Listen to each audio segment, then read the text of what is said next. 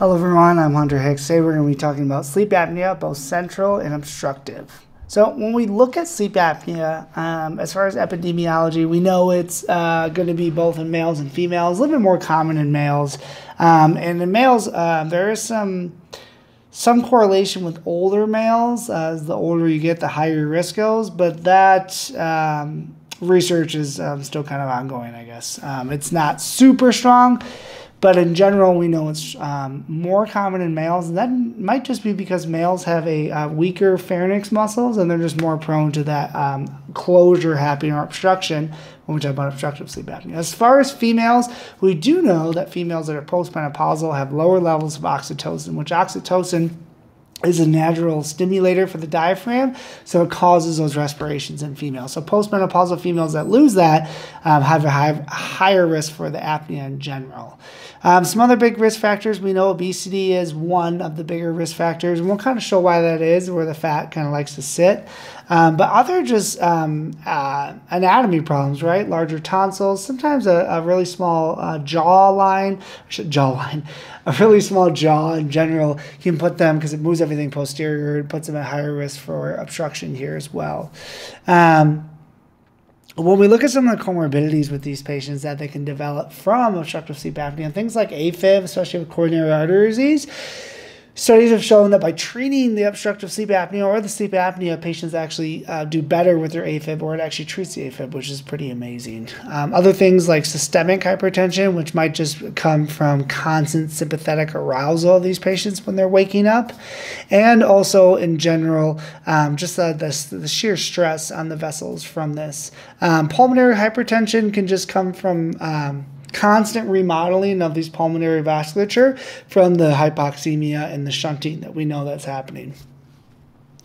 One of the biggest things, though, your patients will have is hyperinsomnia. So that's not that they're just fatigued or kind of sleepy. They're falling asleep during non stimulating events, and that could be driving, watching TV, talking to someone if it's a non stimulating conversation. In general, these patients are just falling asleep throughout the day, and they'll tell you that they're super tired. Now, my definition, sleep apnea, is apneic uh, phases of a breath longer than 10 seconds for usually greater than five times in an hour, but it can happen way more than that. Some patients can have apneic events up to 600, 800 times in an entire uh, sleep cycle of six to eight hours. And again, they don't usually know they're having this, the patient themselves, so that's why they wake up so tired and they have no idea why.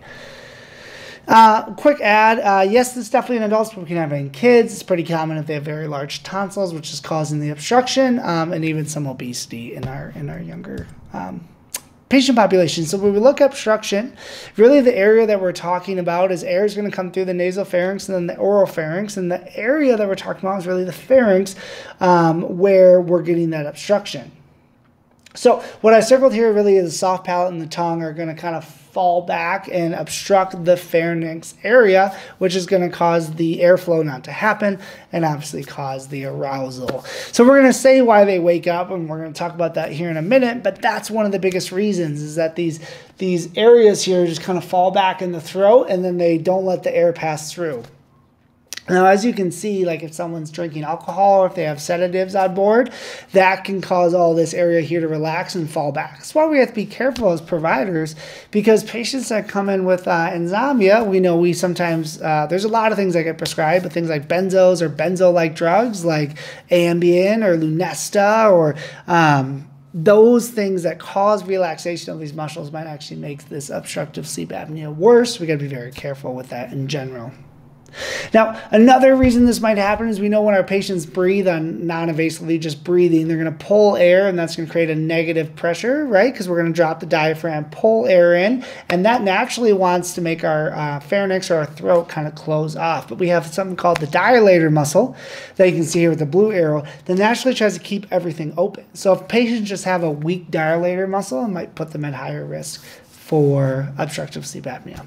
Now, the other thing too, as you can see, is like on a really obese patient, some of that fat loves to just deposit here in the pharyngeal walls, right? So now we even have more of, of obstruction, right? We have even less of a diameter here, which puts us at higher risk too with our obesity patients.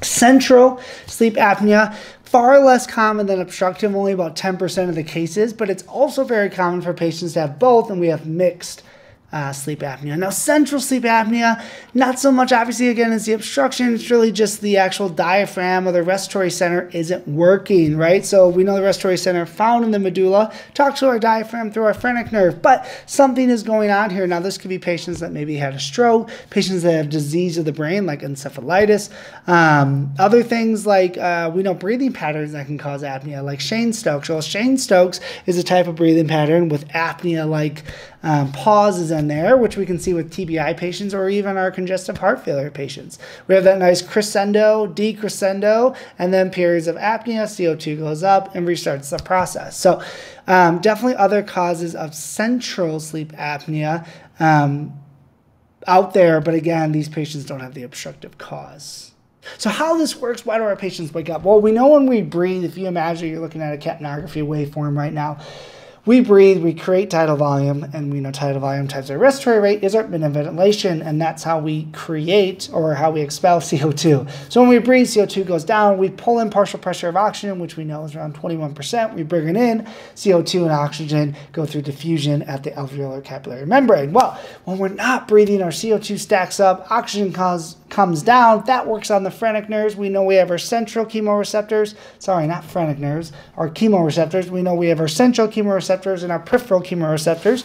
And in our peripheral chemoreceptors, they're more concerned about the hypoxemia, and our central is going to be more concerned with hypercarbia. Either way, one of those guys gets um, upset and it tells the diaphragm move and creates some um, respirations to happen. That's what wakes our patient up. They wake up. Um, we get some um, uh, arousal back in the upper airway so that obstruction usually goes away or the diaphragm starts moving. We create some air and then your patient falls back asleep. Again, usually they have no idea that they're having these arousal moments throughout the night and they can have multiple throughout the night. And that's why when we look at our subjective and objective data, it's very, very good to sometimes ask their partner or someone they're living with or sleeping with, do they notice any of these apneic-like events. Other subjective things that our patients can complain about, like I said, this uh, hyper uh, uh. They're just they're tired. They're they're tired. Hypersomnolent. Sorry, they're super super tired. Not just like I feel kind of fatigued because I didn't sleep last night because I'm stressed out, but they are so tired like they need to pull over during a long car ride and sleep for like three to four hours, or they're watching TV and then they fall asleep. Whatever it might be. Okay. They might also wake up with a headache, and that's because CO2 is a potent vasodilator in the cerebral vasculature, right? So it's going to dilate those arteries and those veins. It's going to cause a lot of pain once they start breathing. They get the CO2 off. That headache will usually go away. Um, objective things, obviously, a very big neck or like a large collar size. That's a huge indicator for obstructive sleep apnea. They could have uh, hypertension. They could have atrial fibrillation. All these things. Any anatomy things you notice, right? Large tongue, big tonsils.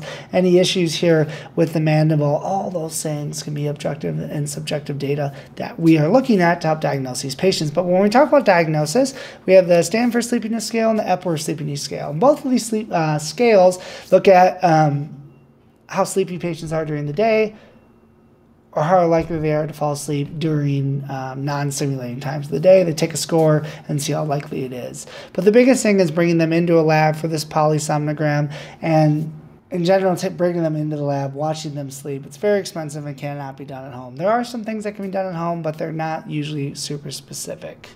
Treatment, uh, in general, we can have our patients lose weight. That might help if they do have an obesity, and sometimes sleeping on their side or sleeping upright might help out a little bit. Biggest thing is CPAP, which we know is a constant pressure. CPAP, same as EPAP when you're talking ventilation, or, e, or um, EPAP keeps this constant flow, keeps that open so they move air in and out. Now, nasal CPAP or the whole face, either one. Um, nasal CPAP is going to be more common uh, to be seen and it helps out a lot. It can even help out with some central sleep apnea. The biggest thing is why don't we use this on everyone if it works? Well, patients tend to not want to wear it because it keeps them up at, uh, up at night sometimes or keeps their partner up at night usually and it dries them out surgeries that can be done, tonsils, anything to help up the obstruction in general. Ultimately, a trach is like super severe if they have a cardiac dysrhythmias that are really bad, and that obviously will totally by, um, bypass this whole pharynx area up here.